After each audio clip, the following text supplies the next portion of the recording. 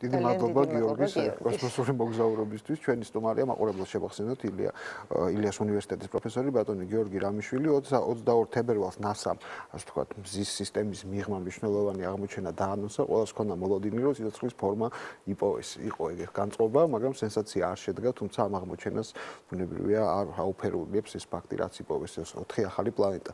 შესაძლოა ისმის კითხვა, რა მნიშვნელობის აღმოჩენაა ძალიან დიდი მნიშვნელობის აღმოჩენა არის. ახლა არ არის ის საზოგადოების მოლოდინი თუ ზუსტად ისე ვერ გამართლება, ეს არ ნიშნავს, რომ დიდი აღმოჩენა არის. ეს არის ძალიან დიდი აღმოჩენა. თანაც აი თქვენ ქრონოლოგიურად მოისმენთ როგორ მოხდა ეს აღმოჩენა, რომ ჯერ დედამიწისეული პატარა ტელესკოპიდან მოხდა კარგად აღმოჩენა სამი თანამგზავრის. მე ჩართეს ულტრათანამედროვე ტელესკოპები კოსმოსიდან და იმითი მოხდა გაიგივება ამ სამი თანამგზავრის სამი პლანეტისა და კიდევ 4 იპოვეს. საინტერესოა ძალიან ეს სისტემა, თუნდაც იმით, რომ შვიდივე არის დედამიწისნაირი პლანეტა. ოდნავ მეტი მასე, ოდნავ ნაკლები მასით, ზომით, ყველაფრით აი ოდნავ-ოდნავ განსხვავებებია. და ამიტომაც ვარაუდობენ, რომ შესაძლებელი არის მასე იყოს სასიცოცხლო ფორმა რაღაცა გარკვეული დონე. ან გეომეტრიული პარამეტრები და მასით გვაგვარ. ოღონდ ერთ ამას გეტყვით, რომ თითოეული აი მეშვიდე პლანეტაც კი ყველაზე შორში რომელიც არის.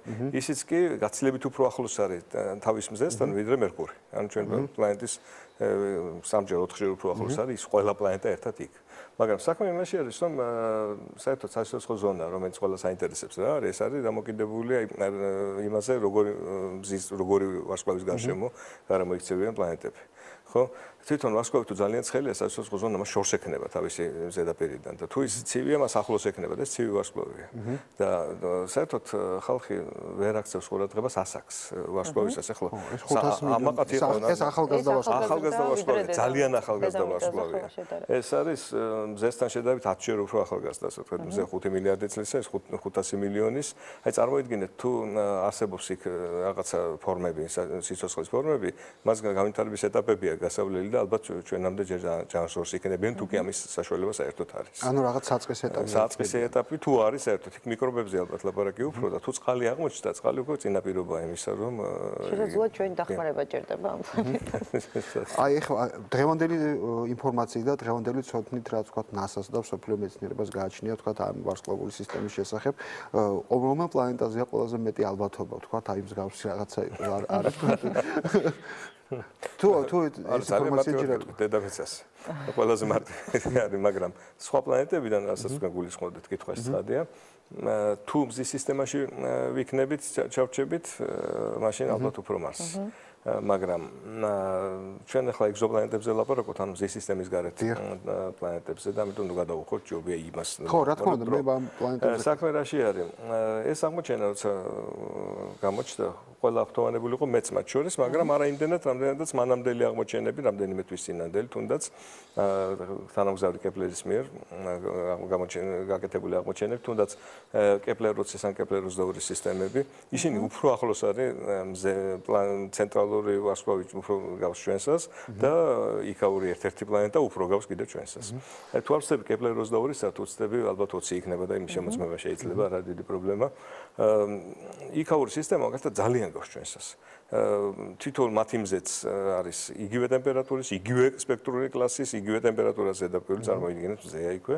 ოდნავ ზომაში მასზე მეტი არის ჩვენსაზე ცოტათი, გაფართოებულია ცოტათი და ის იქაური დედამიწაც ჩვენსას გავს და ცოტათი მეტია ჩვენზე 30%-ით დაახლოებით. აი ესეთი განსხვავება და სასიცოცხლო ზონაში არის და ცოტათი უფრო შორს არის თავისი მზიდან.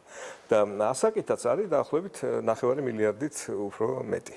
ასაკეთ, ცოტა მეტი შეიძლება შეფასება ხო იცით ფორმალურია მაინც.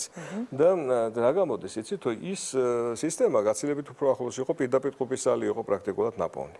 აი მეორე აჟიოტაჟი თქვენ გეხსოვებათ ალბათ უახლოესი ვარსკვლავის მიმართ პროქსიმას პროქსიმას ბეს მიმართ იყო ლაპარაკი იქ იყო ძალიან სწრაფად მოძრავ გიგანტ პლანეტაზე ლაპარაკი, მაგრამ უკანასკნელი მონაცემების მიხედვით აღარ არის უკვე ლაპარაკი პლანეტაზე, ეს არის დაკვირვებების ხარვეზი გარკვეული ტიპის. ხარვეზიც არ ქვია მას, უბრალოდ გარკვეული ტიპის პერიოდულობა შეინიშნება ეგ და ის პერიოდულობა ხელსაწყოებით გამოწვეული აღმოჩნდა და არა თვითონ თანამგზავრით.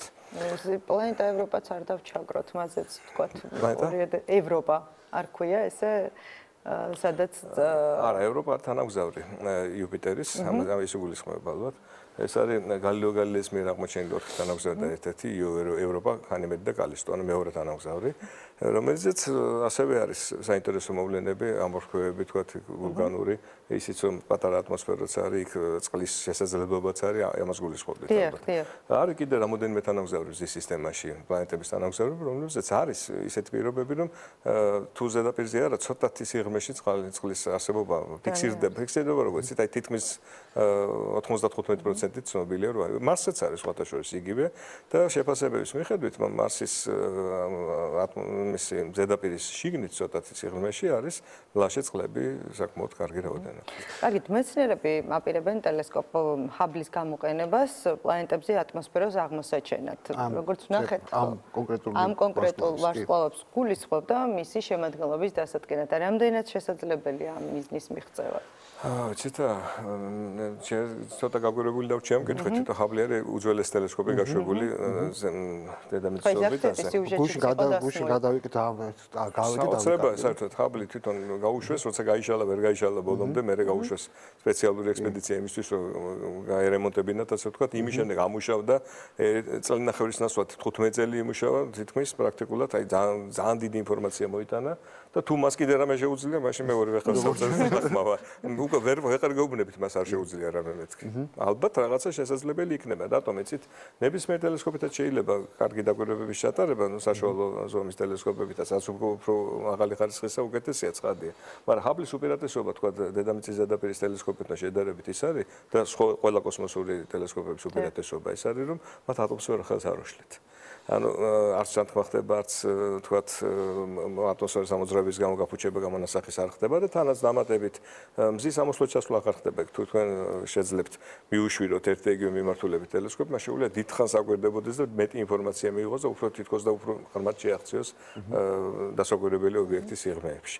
ეხლა რამდენად შეძლებენ ატმოსფეროს დაკვირვებას ეს ეჭვი გამოითქვა კიდეც აგერ სიუჟეტებს თქვენ ნახეთ კი იდეა არსებობს, მეთოდიკა ცნობილია, მაგრამ ისეთ მანძილებზე თუნდაც ეს ტრაპის ერთის სისტემაზე 39 სინათლის წელი საკმაოდ საჩორია.